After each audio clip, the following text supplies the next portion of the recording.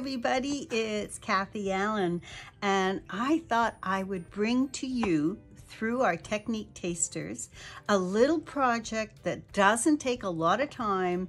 You can make a whole bunch of them all at once. And what we're going to be doing using Art Impressions, wonderful different Christmas sets. And trust me, they got a whole bunch for you to choose from we're gonna fun little ornaments that you can hang on your tree. These are simply, these are simple, they are fun. You can make them for each one of your kids or for someone special. And think about doing like six, eight of them and adding them to your Christmas tree for something not only unique, but something that's special just from you. So to begin, you need some wood slices. These are pretty much available anywhere at your local craft store or rubber stamp store sometimes have it but they are just wood slices. They're natural wood slices. And what you're going to do is we're going to we could stamp right onto the wood but I like to add a whitewash before I start. Now I want you to see the difference between these two. Strong whitewash less water added to the paint. Light water light white whitewash. That's hard to say. Lighter white whitewash, and that I had more water in the paint. So it just depends on what you want. Good old acrylic white paint. I don't care whose brand you use. And I usually use as a palette just a non-stick crafting mat. So I will take the color that I'm using and all I need is a little daub of that on my crafting sheet and all you need is a bit of water. Spray that two, three times onto your plant onto your paper. I can see it's it's it's more like heavier cream, like um, coffee cream. And I want it just a little bit lighter. So I'm gonna add a couple of more drops. There we go. It's getting more like milk now. I like that. And the reason why I like this angled brush is I'm just going to, oh, there you go. It's perfect. Do you see how it's not quite so heavy? What I don't want to lose is the beautiful grain of the wood in the wood slice.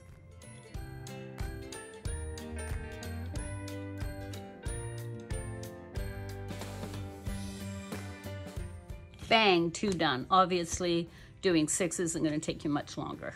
So here we have my um, wood slice and I need to make sure that this is dry.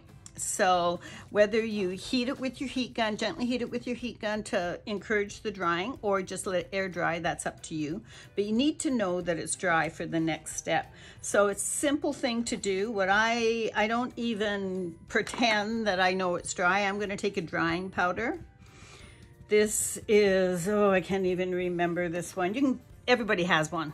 It's a drying powder. Um, it helps prepare your paper when you're doing wet embossing, but it also will help dry things. So you just kind of pounce it on there, and then you take a little microfiber cloth, okay? And it was from scrapperfect.com because they still have the label on there. And you just kind of dust it off. Now to test it, I think this is dry, but here's my test. Black embossing powder. Take the spoon and sprinkle. If it all comes off, it's dry. That simple. Okay. Nice, quick, easy test. So now what we're going to do is we're going to choose a stamp. And I'm going to choose, you can see I've done this funky little reindeer. He's so much fun. And this jolly little snowman. Cool thing about art impression stamps, there a lot of them, a lot of them are the perfect size for these little wood slices. All right, you don't have to do any altering of sizes here. They're perfect. So she also has done, okay, a beautiful little snowman, and that's the one I'm gonna use this time. And what we're gonna do is we're going to be inking it with Versacolor Black Pigment Ink.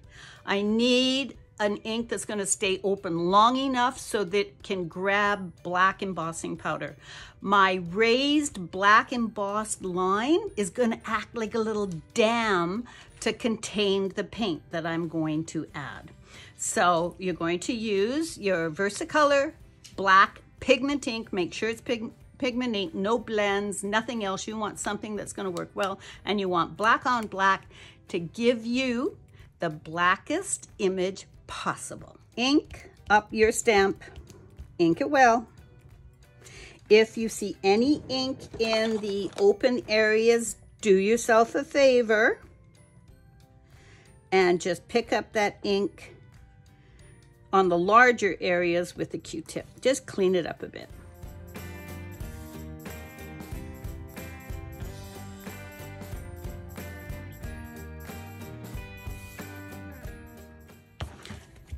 Beautifully inked, fine detail. Add your embossing powder. There you go. And now you're going to heat set with, with your heat gun. When you heat set this, it's going to take a little longer than paper.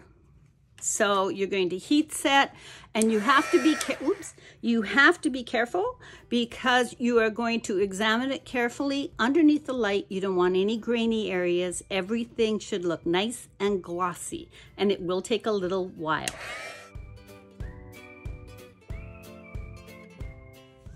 So here we have our snowman that is stamped with black pigment ink and embossed with embossing powder. So we have a raised edge.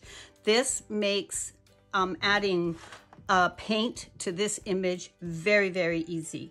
And what you're gonna want is a selection of acrylic paint. I, it Seriously, my paints are years and years old. I think you can tell by the containers, but if you store them upside down like this, this is why they last so long.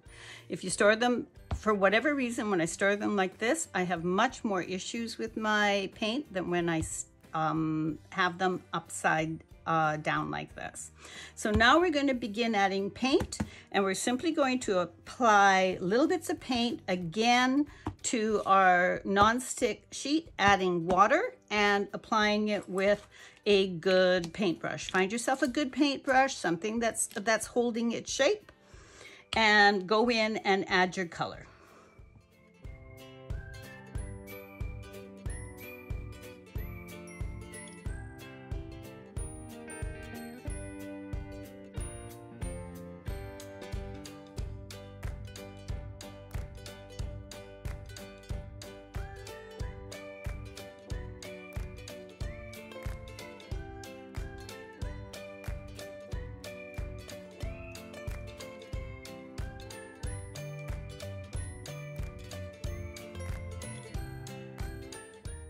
So now we have added color to our image and the paint has stayed nicely within the uh, raised black embossed lines.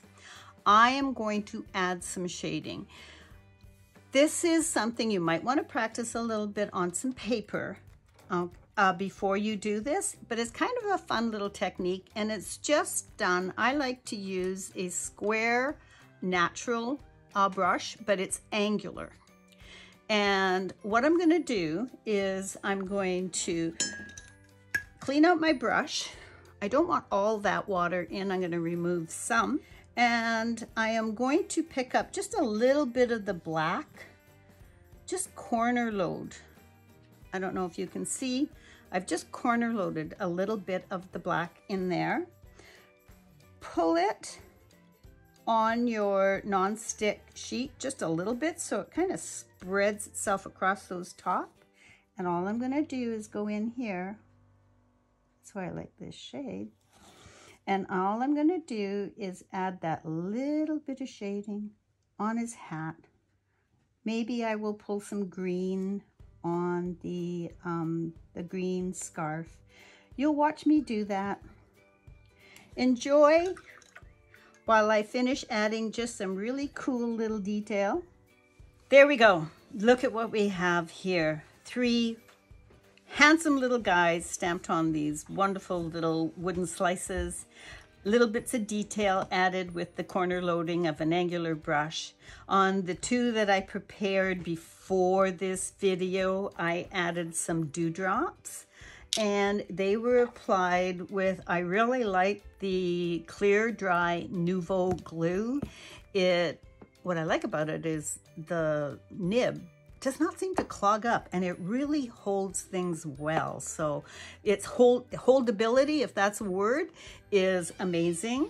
I've added some bells. I've added some fun ribbon and fibers.